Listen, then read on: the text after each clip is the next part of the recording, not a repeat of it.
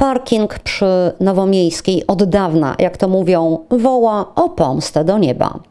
Po ubiegłokadencyjnej interwencji radnych wreszcie znalazły się pieniądze na to, by wjazd na skrawek tego terenu nie groził uszkodzeniem samochodu albo, co gorsza, zwichnięciem nogi.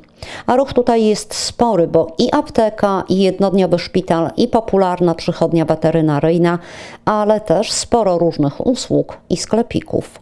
Wprawdzie parking nie urośnie, ale wreszcie zabita na nim cywilizacja. Wprawdzie w piątek 13, ale miejmy nadzieję, że bez żadnej klątwy czy pecha, otworzyły się drzwi dla inwestycji. Podpisana została umowa, której efektem będzie nowa przepuszczalna nawierzchnia parkingu ułożona z ażurowej kostki.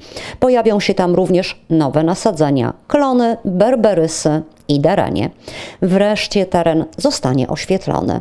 Nowy parking zbuduje suwalski wykonawca. Miasto zapłaci mu 586 tysięcy złotych.